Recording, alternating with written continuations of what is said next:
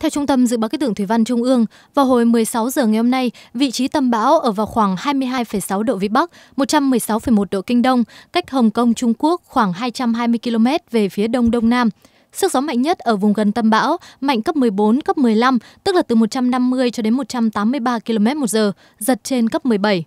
Dự báo trong 24 giờ tới, bão di chuyển với tốc độ khoảng 20 km theo hướng Tây Tây Bắc. Đến 13 giờ ngày 23 tháng 9, bão suy yếu nhưng sức gió vẫn còn mạnh cấp 9, cấp 10 với vị trí tâm bão ở vào khoảng 23,6 độ Vĩ Bắc, 111,5 độ Kinh Đông trên đất liền phía Tây Nam của tỉnh Quảng Đông, Trung Quốc.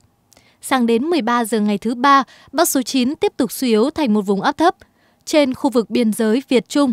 Tuy nhiên, do ảnh hưởng của một đợt không khí lạnh tràn xuống kết hợp với vùng áp thấp có thể gây ra một trận mưa lớn kèm theo các nguy cơ lũ quét và sạt lở đất có thể xảy ra. Người dân sinh sống ở vùng trũng thấp ven sông suối cần chú ý đề phòng và tiếp tục theo dõi các diễn biến thời tiết trong khu vực để chủ động ứng phó.